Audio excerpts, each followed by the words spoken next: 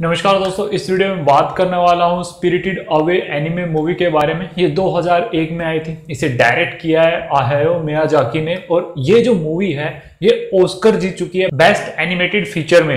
अब इसके अलावा ये 57 अनदर अवार्ड्स भी जीत चुकी है। एक तरीके से अगर आप इसके अवार्ड्स के बारे में ही सुन लो तो आपका मूवी देखने का मन कर जाएगा। इस मूवी के कैरेक्टर जितने खूबसूरत है, उतनी ही खूबसूरत इसकी कहानी है। और सबसे इंपॉर्टेंट बात यह कि ये मूवी हर एक एज ग्रुप का इंसान इसे देख सकता है। चाहे वो टीनेजर हो, चाहे वो एडल्ट हो, इतनी ज़्यादा खूबसूरत ये मूवी है। मैं यहाँ पर आप लोगों को एक बात जो इसके डायरेक्टर है उन्होंने कही थी, किसी मूवी के बारे में, किसी और दूसरी मूवीज़ उनके बारे में एक बात उन्होंने बोली थी, मैं आप लोगों के साथ वो शेयर करना चाहता हूँ।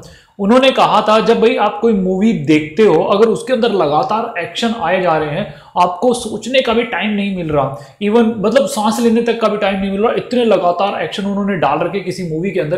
तो वो समझ लो, वो मूवी सिर्फ़ और सिर्फ़ बिज़नेस पर्पज के ऊपर बनाई गई है। बट जब कोई किसी मूवी को थोड़ी देर रोक कर मतलब कि उसमें टेंशन बिल्डअप होने देता है तो वो मूवी कमाल की जाती है। और वो मूवी ग्रो करती है एक वाइडर डायमेंशन में। और ऐसा ही इस मूवी के अंदर है, पहले तो टेंशन को एक तरीके से अच्छे लेवल पे बिल्डअप होने दिया, फिर ये मूवी आगे बढ़ती। यानी एक तरीके से यहाँ पर हमें लगेगा, यार, अब क्या होने वाला है? फिर उस टेंशन को मतलब रो अच्छे से उसको बनने दिया गया, क्योंकि मूवी वहाँ पर थोड़ी देर ठहर जाती है, फिर हमें आगे दिखाती है कि हाँ यार, अब ऐसा हुआ है। और इस मूवी का जोनर यार, कमाल का है। मतलब कमाल का क्या है?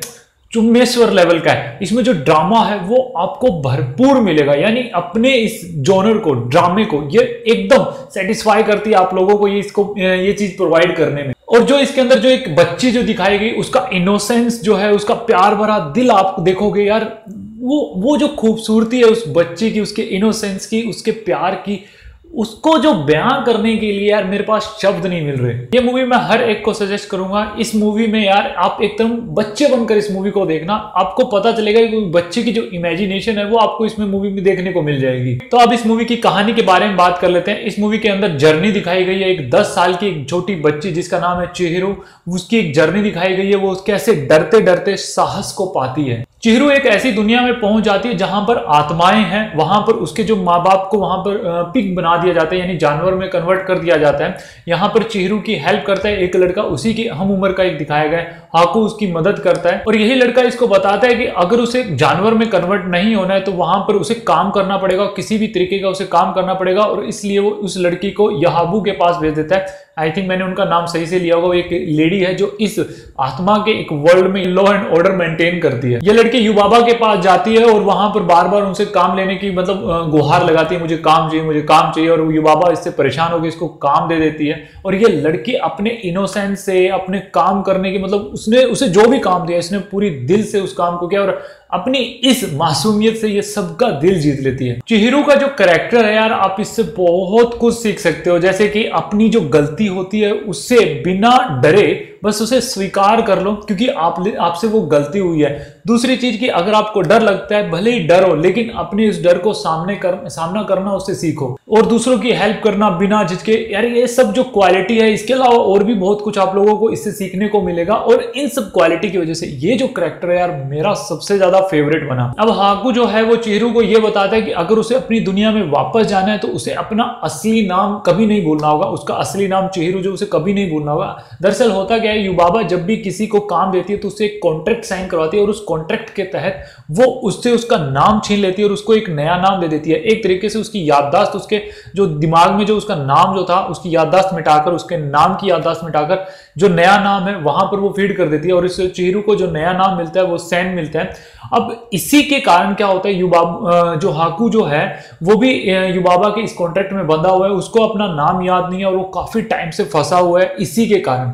अब हाकू चेहरू को और चेहरू के जो माँ बाप हैं, उनको वापस अपनी ओरिजिनल दुनिया में भेजता है, इसमें हेल्प करता है चेहरू की और चेहरू भी इसके बदले हाकू की एक मदद करती है। और वो सब कैसे होता है यार, इसके लिए तो आप लोगों को ये एनिमे मूवी देखनी पड़ेगी। अब अगर मैं बात करूँ इसके एनिमेशन की, यार देखो जिसे ऑस्कर मिल चुका है, उसके बारे में बात करने यार मतलब छोटा मुँह बड़ी बात हो जाएगी। इतनी ज़बरदस्त इसकी एनिमेशन है, इतने अच्छे इसके कलर हैं। यार, एक जो एनिमेशन जो होती है ना, आपके जो बचपन की इमेजिनेशन जो आप देखते हो कि यार ऐसा होगा, ऐसे ड्रैगन होंगे, वो सब कुछ इतनी खूबसूरती के साथ आपके सामने रिप्रेजेंट किया गया मतलब जब आप इसे देख रहे होगे ना, एकदम बच्चों की तरह आप इसमें स्माइल कर रहे होगे, हैरान हो रहे होगे। इवन जब मैं इसको देख रहा था तो मुझे भी ऐसा फील हो रहा था कभी कभी एकदम से टेंशन बिल्डअप हो गए, एक अलग सा सीन आता जिसके अंदर इंटरेस्ट बन जाता। तो उसमें हैरानगी होती, मुझे मतलब मैं खुश हो जाता बच्चों की तरह। मतलब कमाल की है यार ये मूवी मेरी तरफ़ से इस मूवी को मैं देना चाहूँगा nine out of ten star अगर किसी ने ये मूवी देखी है तो प्लीज़ कमेंट करके मुझे बताना कि आप लोगों को ये मूवी कैसी लगी। अगर नहीं देखी तो यार जाओ यार, किसका वेट कर रहे हो? ऑस्कर विनर मूवी यार काफ़ी अच्छी मूवी है। मतलब यार तुम्हें देख के आनंद आ जाएगा मतलब प्रसन्नता ही प्रसन्नता होगी तुम बिल्कुल भी पछताओगे नहीं। तुमने क्या देखा? बहुत अच्छी मूवी है। और मैं सच कह रहा हूँ यार एनिमेशन मूवी जो एनिमे जो मूवी होती है, अब इसको कार्टून से कंपेयर मत करना यार। कार्टून है, इसमें कुछ भी देखने को नहीं मिलेगा। इवन मैं जब भी कोई एनिमे मूवी देखता हूँ, उसको, उसकी ओरिजिनल यानी जो जैपनीज लैंग्वेज में, उसी में देखने को प्रेफर करता हूँ। क्योंकि यार फील आता है अच्छा लगता है, नीचे सब टाइटल होते हैं, मुझे ये नहीं है कि जैपनीज आती है, नीचे सब टाइटल होते हैं और मुझे अच्छा लगता है कि उसको ओरिजिनल लैंग्वेज में देखूँ अच्छा लगता है इस चीज़ के लिए। तो बस आज के लिए इतना ही था। अगर जिन्होंने नहीं देखी तो मैं फिर से कहूँगा, यार, जाकर देखना, बहुत अच्छी मूवी है, तुम इसे मिस मत कर देना। तो बस आज के लिए इतना ही था इस वीडियो में। Thanks for watching this video मिलते हैं नेक्स्ट वीडियो में। जय हिंद।